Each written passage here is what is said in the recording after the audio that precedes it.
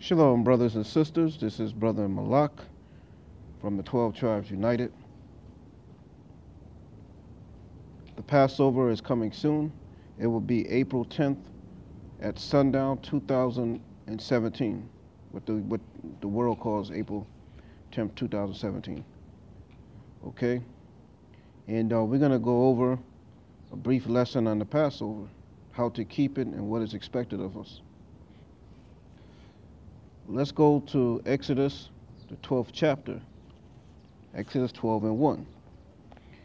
And the Lord spake unto Moses and Aaron in the land of Egypt, saying, So this is the Lord that spoke to Moses and Aaron.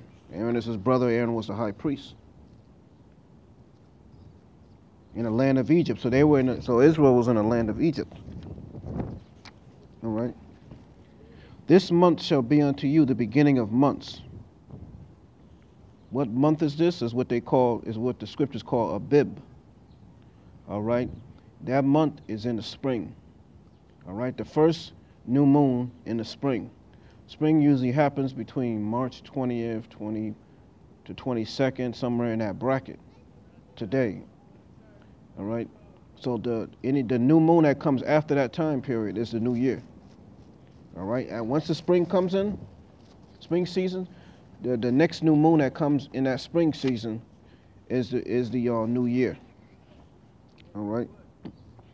It shall be a first month of the year to you. So the first month is Abib, which is um, you know, it's the first Hebrew New Year. It's the new year. It's the first month. The new year doesn't start in January 1st. All right, that goes back to paganism, Janus, and so forth and so on. You know, everything you know grows, starts to grow in the spring. In the winter, everything is dead. All right, so the Passover is supposed to be the the um, the new year starts in the spring, and so does the Passover. It says, "Speak ye unto the children of Israel, saying, In the tenth day of this month." So it says, "Speak to who? The congregation of Israel." All right. It says, saying, In the tenth day of the month, they shall take to them every man a lamb. So on the tenth day of the first month, we're supposed to go and pick our lamb. Go wherever we're gonna go, go among our flocks, you know, go to a butcher, you know, wherever. You're supposed to pick a male lamb. Every man a lamb, it's gonna tell you. According to the house of the fathers. A, a lamb for a house. So in every house we took uh we took our we took to ourselves to ourselves a lamb. All right. It says, "Your lamb shall be no no." House of their fathers, a lamb for a house. It says, "If the household be too little for the lamb, what does that mean? Too little for the lamb? That means that here it is. You got five people in your house, and you got a big lamb. Obviously, that lamb is going to be too big the household is too small, too little for that lamb. That lamb is big. Let's say if it's a 75 pound lamb, 100 pound lamb, and you only got like a few people in your house. What does scripture say? Let him and his neighbor next unto his house take it according to the number of souls. Every man according to his eating shall make count make your count for the lamb. So if um if your lamb if the household was too little for the lamb, meaning the lamb was obviously too big, then you invite your neighbor. Invite enough people that that could eat that lamb, you know. So whichever amount of people it needs, you know, another household, you combine the households and y'all have that lamb. All right? You're not supposed to let the lamb go to waste. It says, Your lamb shall be without blemish. What does that mean without blemish? That means that nothing is wrong with it. It's not, its, its legs isn't broken, ribs ain't broken, you know, eye is poked out, um, whatever it may be. This lamb has to be without blemish, without any, without any, um, without anything in it, meaning no cuts, scrapes, no, nothing. It has to be a straight up, you know, um, it has to be a, a lamb without blemish. A male of the first year. What does it mean by a male of the first year? So the lamb is supposed to be a male. When it says male of the first year, that means you get a lamb that's that's not that's not over a year old, meaning first year. You know, like when you you know like when you hear people say your baby's first year. What is your baby's first year? From zero to twelve, right? So you can get a lamb six months old, three months old. A three-month-old lamb is approximately 75 pounds, usually. All right. So you have to get a lamb of the first year, not of the second year. You get a lamb past a year old, you start to go into the second year. All right? So you have to get it up the first year. All right? A lot of people make that mistake and they get a big giant lamb that's almost an adult. And it's not a lamb anymore. Ye shall take it out from the sheep, so you can take your lamb from the sheep or from the goat, so you can also get a goat that's of the first year. And ye shall keep it up until the fourteenth day of the same month. So you keep the lamb until the fourteenth day of the same month. And the whole assembly of the congregation of Israel shall kill it in the evening. So what does that mean? You keep the lamb from the tenth day to the fourteenth, and at the fourteenth that evening, meaning on Passover, you kill the lamb. And they shall take of the blood. Where is that blood coming from? From when you cut the lamb's throat. The blood, and strike it on the two side posts.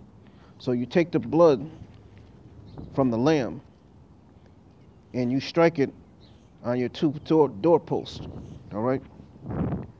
It says, and on the upper doorpost of the house, wherein you shall they shall eat it. So where you're eating the lamb is where you strike the blood on the doorpost.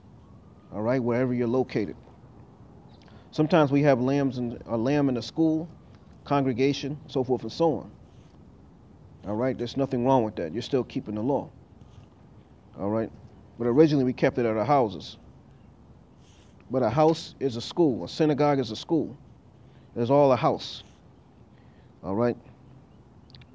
It says, and ye shall eat of the flesh of that in that night. So that night of the Passover, you're supposed to eat of the flesh, meaning eat of the lamb.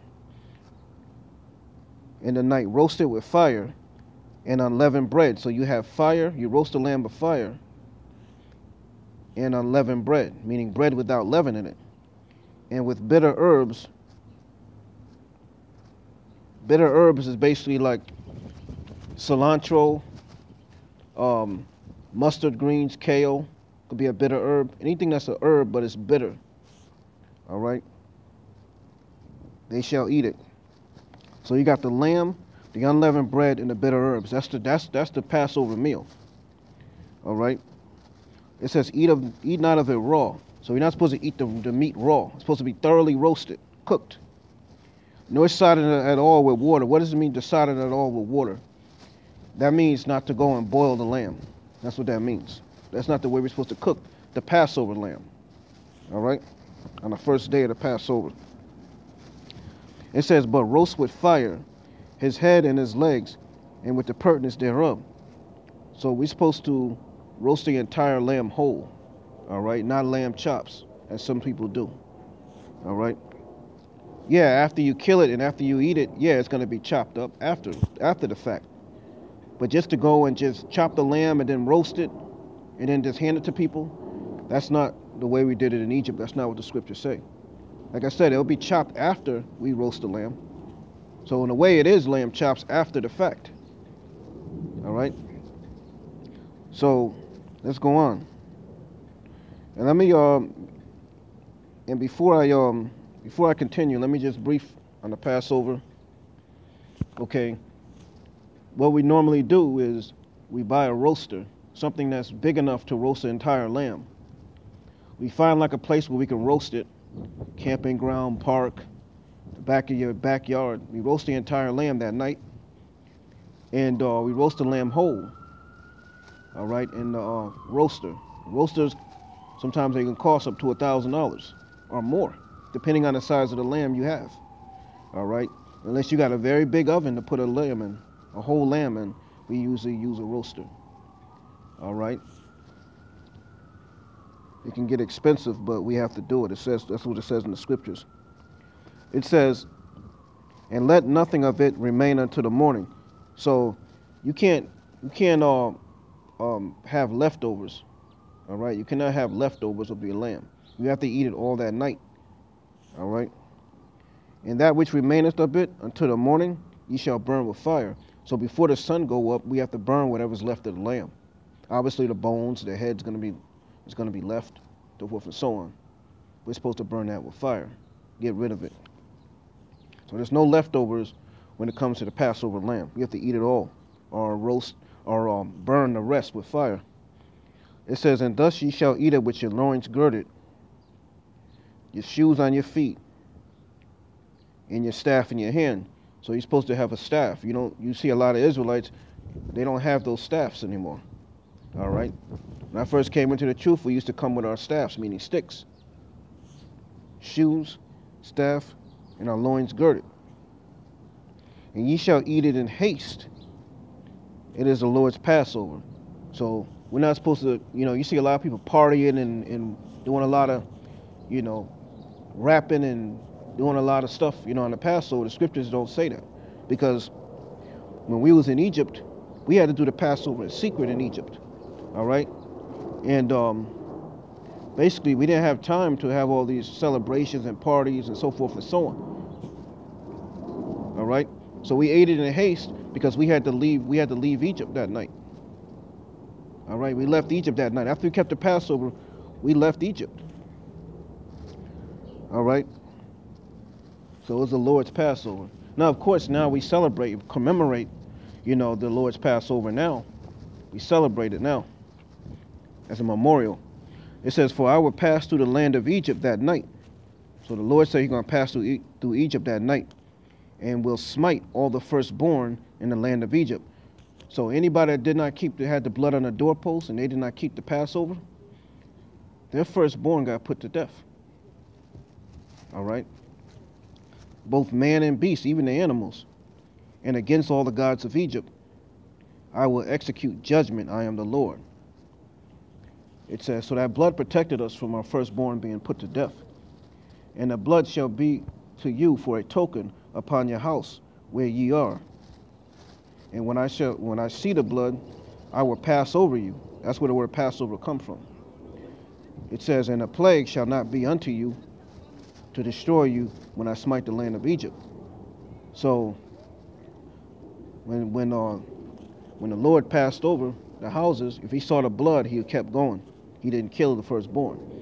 And this day shall be unto you for a memorial. So this when we do the Passover, we do the ritual, it's a memorial. All right?